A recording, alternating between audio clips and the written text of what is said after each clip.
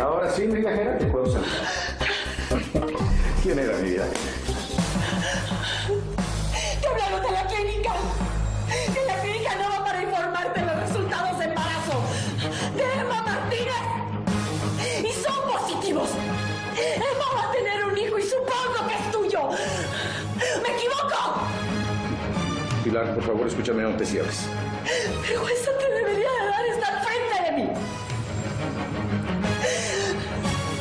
Pilar, entiéndeme, por favor, te estoy diciendo la verdad. Es mejor que me vaya. Nos hablamos después. Discúlpame, Sofía. No, no te preocupes. Tomen las cosas con calma y escúchense. Ya una vez se separaron por malos entendidos. No permitan que les vuelva a pasar. Con permiso.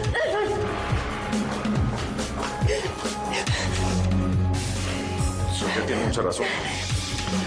No debemos permitir que nos separen. Lo que sucedió con Emma fue con despecho y yo ya te lo había explicado.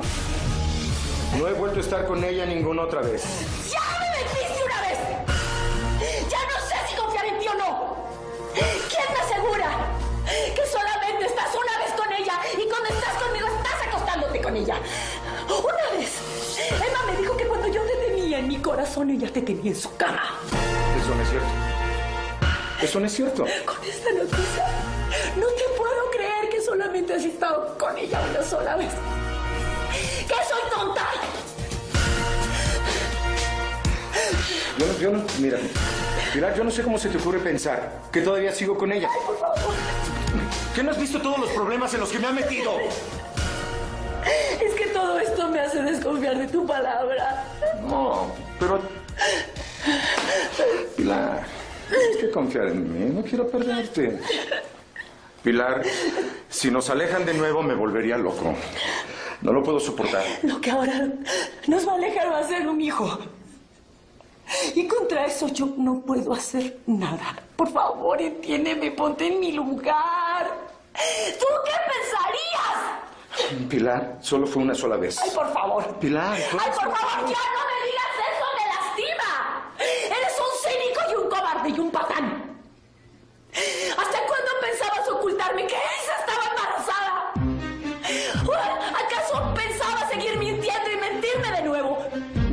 mentido, Pilar.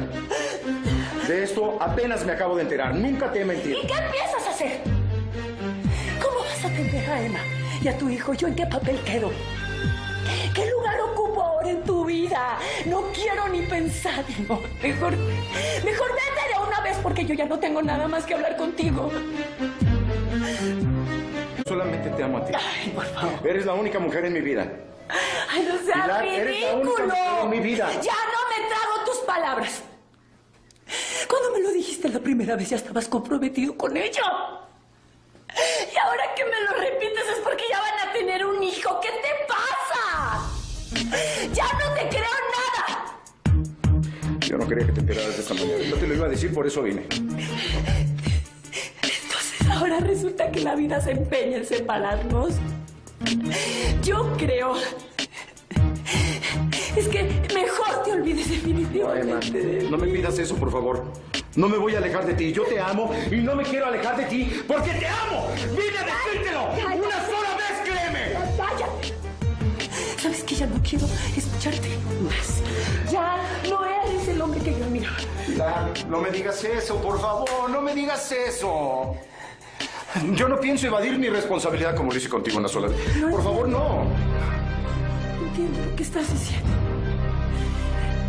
Y mejor sal de mi casa No, Pilar. antes de que te corra como lo que eres. ¿Qué, Pilar? Un cobarde. Ya vete. Ya no. Ya no. Ya vete.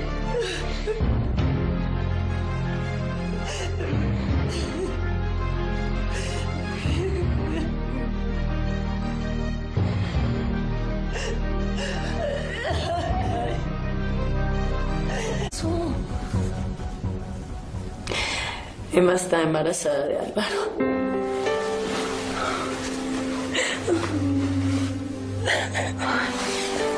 Seguro, tía. ¿No será una mentira de esa mujer? Para mí mi desgracia no es un invento, es una realidad. Contesté una llamada de Álvaro, donde le informaban que los resultados de, de los análisis de embarazo de Emma eran positivos. Lo siento mucho. No sé qué decirte. Imagínate, yo acabo de terminar con Braulio y, y no soporto verlo con Connie. Me imagino cómo te debes sentir tú.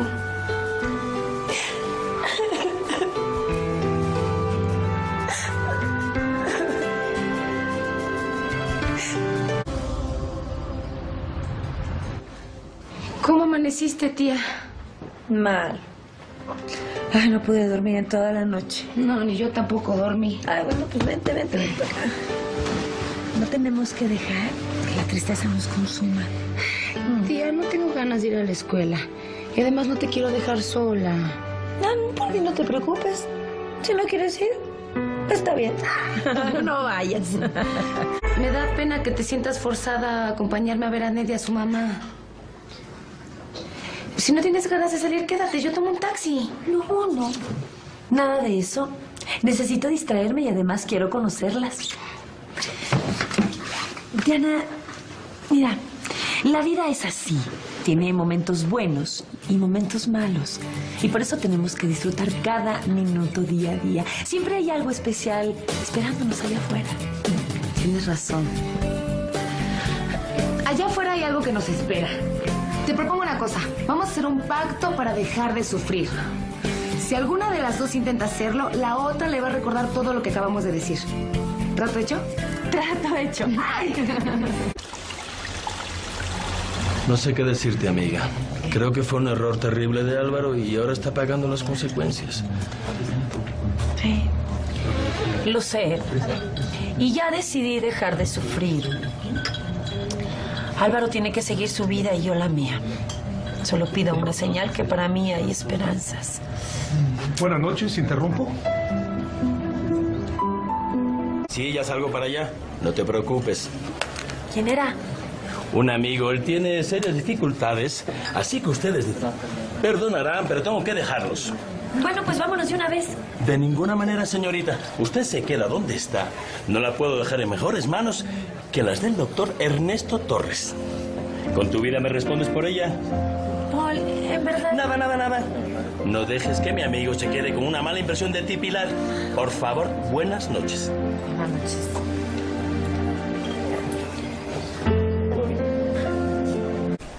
Por el placer de conocerte, Pilar. Igualmente, Ernesto. ¿Puedo preguntar cuál es el motivo de tu tristeza? Ay, Ernesto, tú eres muy amable y no quisiera engañarte. En este momento estoy pasando por una situación difícil y la verdad no estoy preparada ni estoy buscando una nueva relación. Perdóname, pero es que la verdad es que yo no quiero que salgas lastimado por mi culpa. ¿Pero quién ha hablado de una relación? ¿Por qué tenemos que volar si apenas estamos caminando? En cuanto a salir lastimado o no, Pilar, deja que yo me haga responsable de eso. Soy un adulto. Yo sabré lo que hago o no. No sé. Tengo mucho miedo de sufrir otra vez. Nos acabamos de conocer. No sabemos lo que pase más adelante.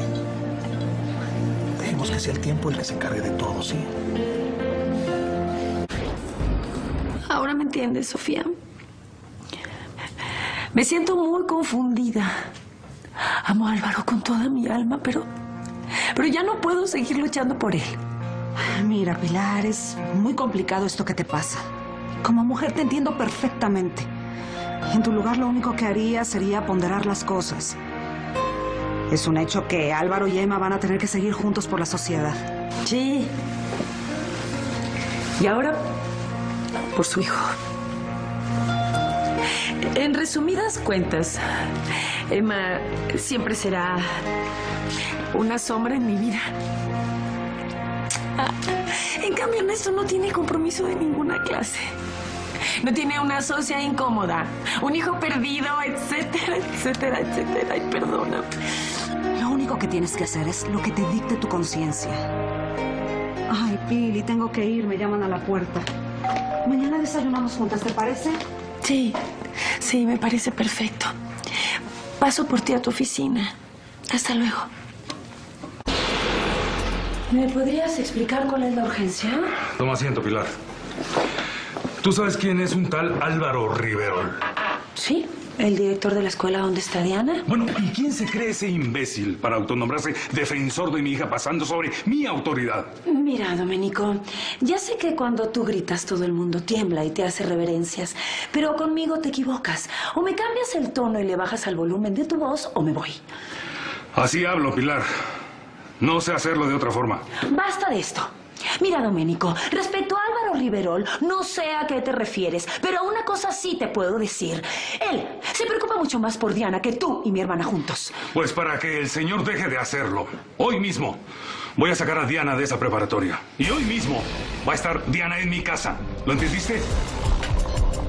Diana se queda conmigo hasta que cumpla la mayoría de edad.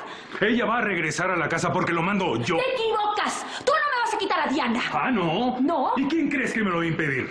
Yo, el padre de Diana.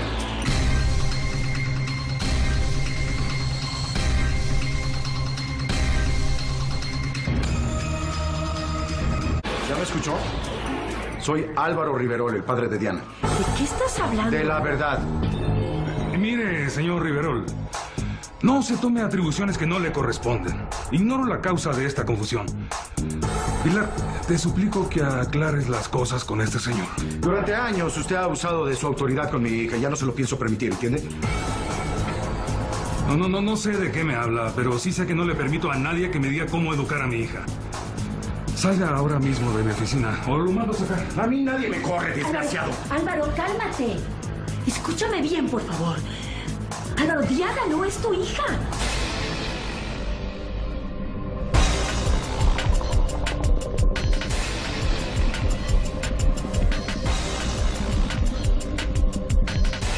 Ya entendí que Diana no es mi hija y entendí el error y la confusión. Y no sabes cómo me duele no ser su padre.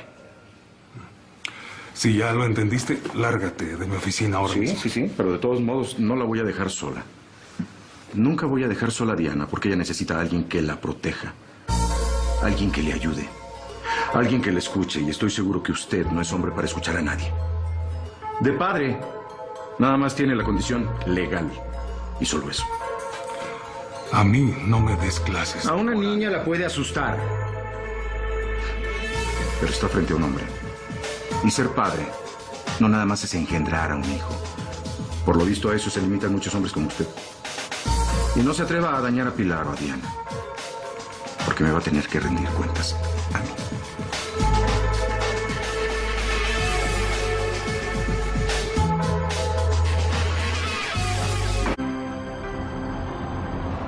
Ahora sí me puedes decir, ¿de dónde sacaste la idea de que Diana era nuestra hija? En uno de tantos pleitos, Emma me dio a entender que Diana no era tu sobrina, sino tu hija. Entonces me emocioné, empecé a hacer cuentas y todo coincidía, incluso hasta Gude se lo creyó. Ay, bueno, ¿y por qué nunca me lo dijiste Porque abiertamente? tenía miedo de presionarte, Pilar. Ahora entiendo tanta preocupación por saber de Diana. Sí. Y entre mis medias preguntas y tus respuestas evasivas, terminé por enredarme más y terminé como un idiota. No, tampoco. Mis deseos de ser padre me cegaron. Y ahora solamente hice el ridículo contigo y con el padre de Diana. Y bueno, La verdad es que no, no sé qué decirte, no, no tengo palabras. Pilar. Pilar, Dime. solo te pido que Diana no se entere de esto, ¿sí? Sí, sí, así será. No te preocupes. Pilar, ¿Qué quieres? casémonos. Olvidemos todo y tengamos hijos.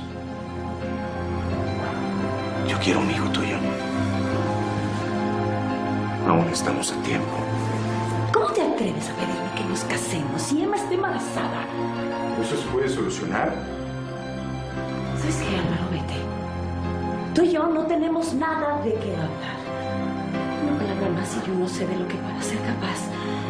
¿Para qué quieres más hijos si estás por tener uno? ¿Sabes qué? Vete ahora mismo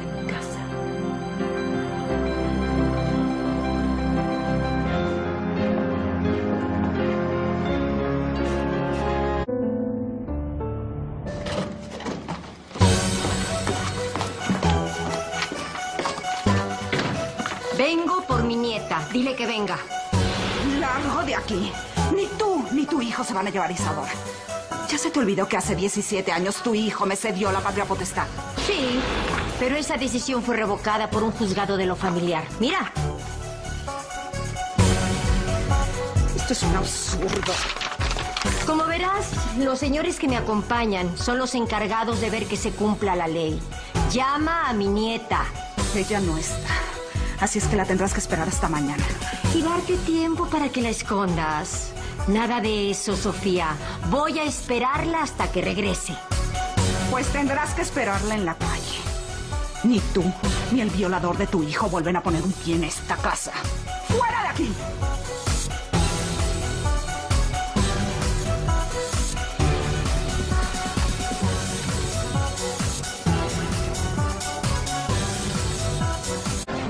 Que dices. Mira que mi hijo puede acusarte de difamación. Pues ya lo denuncié. Qué ingenua eres, Sofía. Esa demanda ya se perdió. Hay expedientes que se traspapelan y luego se van a la basura. ¿Pero qué tipo de gente son ustedes? ¿Cómo una madre puede secundar a su hijo en tantas bajezas? ¿Y usted con qué derecho se atreve a hablarme así? Soy amiga de Sofía y hablo con el derecho que me da la decencia. Usted y su hijo son unos delincuentes y si piensa que ya ganaron, se equivocan. Con usted no tengo nada que hablar. Y cuando llegue Isadora, le voy a decir que entre a despedirse. Tal vez sea la última vez que la veas. No cantes victoria, Florencia. A Isadora le falta muy poco para cumplir 18 años. Tiempo suficiente para que no te quiera ver nunca más.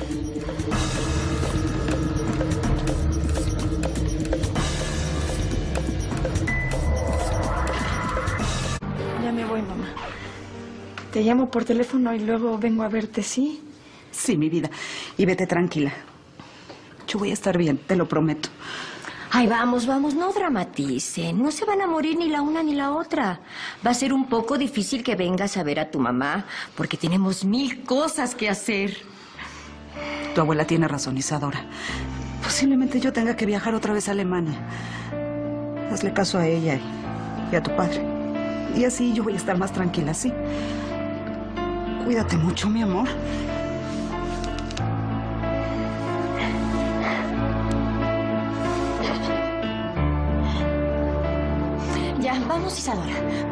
Reina. Vámonos que se hace tarde. Vamos, vamos. Vamos, mamacita. Ven.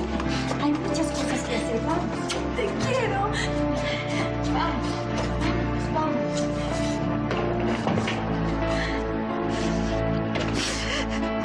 Mi hija.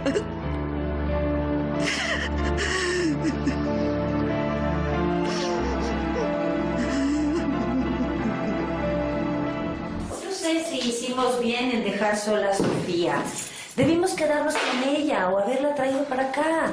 Pero no quiso. Todavía me explico cómo Isadora dejó a su mamá por irse con gente que ni conoce. Y peor aún, que se le haya olvidado todo lo que le hicieron a Sofía, a su propia madre. De verdad que no lo entiendo. Bien, no la juzgues mal, Diana. Ni tú ni yo sabemos qué sienten y qué buscan. Mira, trata de acercarte a ella. Te va a necesitar. Bueno, ahora cuéntame cómo está tu amigo Antonio. Ay, está muy triste. Pero ni te imaginas lo que pasó. Cuquita le heredó todo lo que tenía. ¿Cómo crees? Pues la verdad me da gusto. Porque si como me platicaste, él la cuidó y le dio su cariño, pues se lo merece. Tía, te voy a contar otra cosa horrible. ¿Te acuerdas el día de la pijamada que te platiqué que mi amiga Marca traía unos moretones? ¿Sí? Pues hoy llegó a la escuela con un ojo morado de los golpes que le dio su papá. Dios mío, no pensé que fuera algo tan serio. Ojalá Álvaro pueda hacer algo por ella. Ay, qué de cosas han pasado esos últimos días, empezando con el secuestro de Braulio y de... ¿Y de Damián? Sí, sí. Que por cierto está muy agradecido contigo y me dijo que un día de esto va a pasar a darte las gracias. Ah, bueno, pues qué amable. Aunque en realidad yo no hice nada, solamente los abracé a él y a Braulio. Bueno, ya, ya vámonos a dormir. Muchachita, porque no quiero ir a dormir. Mañana hay que trabajar. Ir a la escuela. escuela, escuela. Hola, Damián. ¿Cómo estás? Bien, señor. Pilar o Pili, como gustes. Eh, me permití traerte estas flores, Pili. Es que quería agradecerte todo lo que hiciste por mí el día del secuestro. Mm, gracias. Están preciosas. Pero no debiste molestarte. Mira, en realidad lo único que hice fue pues estar angustiada como todos, pero nada más. Es que eso es, es exactamente lo que te agradezco.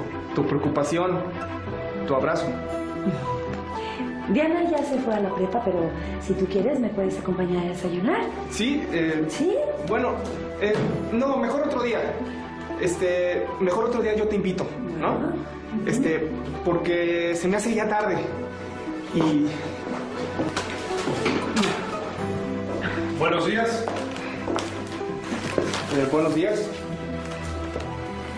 En relación al desayuno, yo le digo a Diana, ¿no? Eh, nos vemos, Pili. Hasta luego y gracias, Damián, por las flores. Por lo visto, hoy se me adelantaron. Todo me imaginé, menos que tendría un rival adolescente. Gracias, están preciosas. Qué amable.